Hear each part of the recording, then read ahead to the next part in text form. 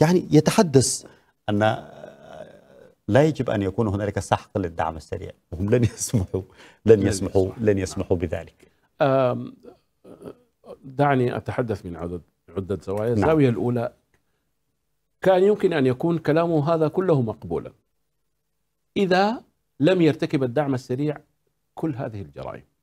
بعد ارتكاب الدعم السريع الجرائم لا يمكن أن تصفه بهذه الأوصاف. آه، فئة عسكرية صحيح.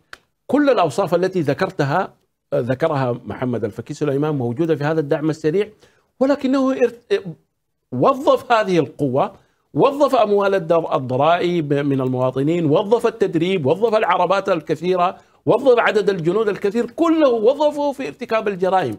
إذا الحال هنا اختلف. بعد أن مارس كل هذه الجرائم لا يمكن أن تتحدث من زاوية التي تحدث منها محمد الفكي سليمان ويصمت عن الجرائم.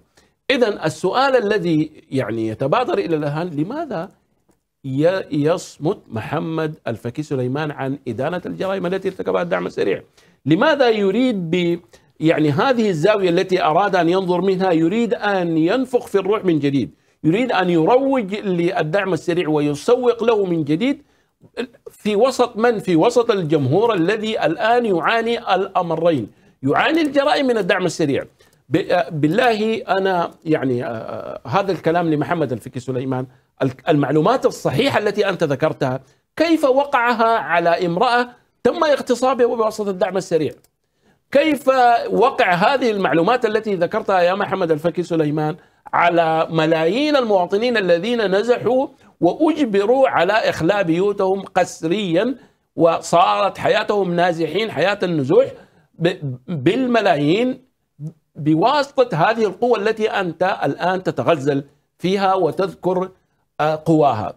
هل الدعم السريع يعني بال كأمر واقع؟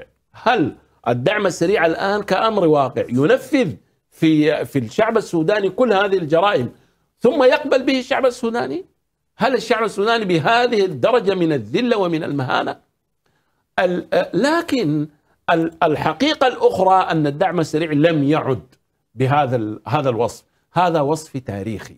هذا الوصف كان قبل 15 أبريل قبل اندلاع الحرب. أما بعد اندلاع الحرب فإن كل الذي ذكره محمد سليمان كان صحيحا قبلها ولكن من بعدها 90% من المعلومات التي ذكرها محمد سليمان تم قصمها وتم مسحها وكسحها وكسرها من على الأرض. لا توجد هذه المعلومات التي ذكرها. كانت توجد قبل 45 اذا محمد الفكي سليمان هو ليس نائم في في ما قبل 15 لكنه يريد أن يحلم وهو يقظ يريد أن يحلم بهذه القوة. لماذا؟ كي يتقوى بها سياسيا.